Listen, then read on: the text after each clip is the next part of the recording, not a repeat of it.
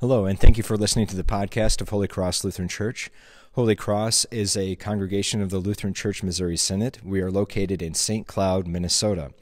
This Easter morning, we have Easter service times at 6:30 a.m., 8:30 a.m., and 10:30 a.m. Our normal Sunday worship times are at 8 a.m. and 10:30 a.m. with Bible study and fellowship in between. And uh, thank you again for listening to us. I'm Pastor Zach. And so, as we contemplate this day, the day of resurrection, first of all, I want to begin by saying, Alleluia, Christ is risen. He has risen indeed. Alleluia.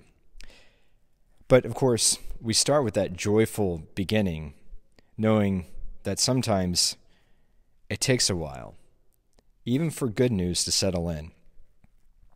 I remember taking our kids on a surprise vacation. Tracy and I packed our bags and we put them in, in the back of the van, and, and the kids had all their bags in the back of the van too. We told them that we were going to visit some friends and then run an errand, and we were in the car for hours and they questioned where we were going, but they never quite put it together. We did start off by visiting friends, but then we drove a long time after that, much longer than a person would need to run some errands. And then as we got closer and closer, certain signs started to appear that this was not going to be a normal day. Our children noticed out their window that there were palm trees. And then we took a turn, and suddenly the ocean was in view.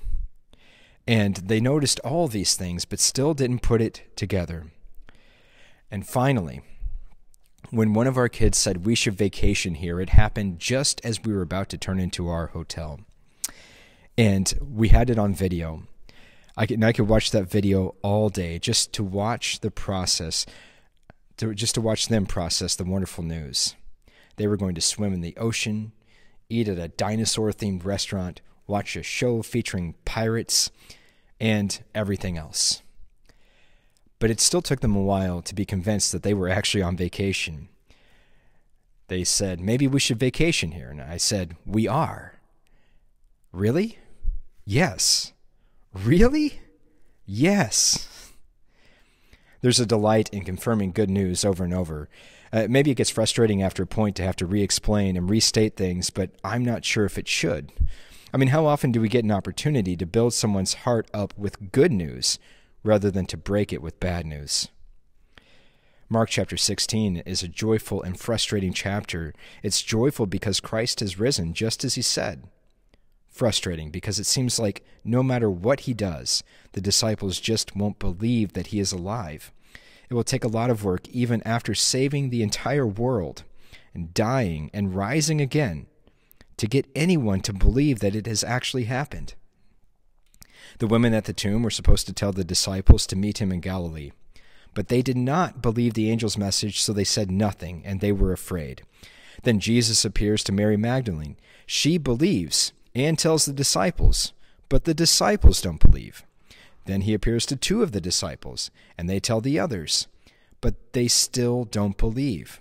Finally, Jesus appears to them and they believe. And they are sent out to proclaim the resurrection all the way around the world. So maybe you don't feel joy in your heart.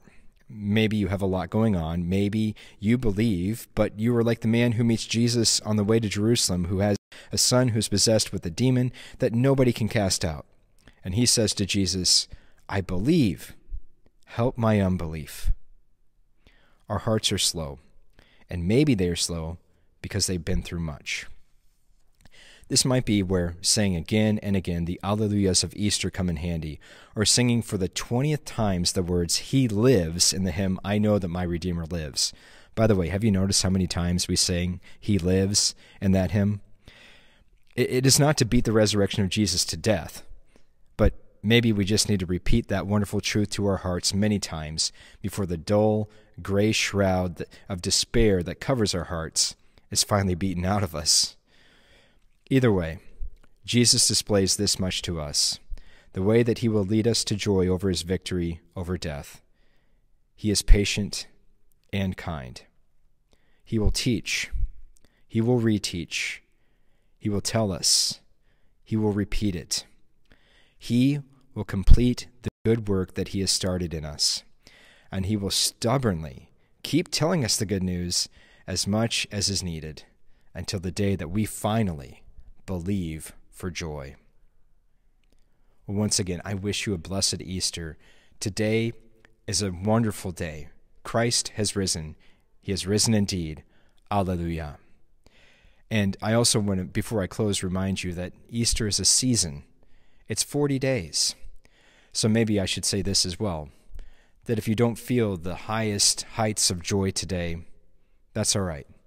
Sit with the good news for a while. Let it settle into your hearts. You have time. Take it.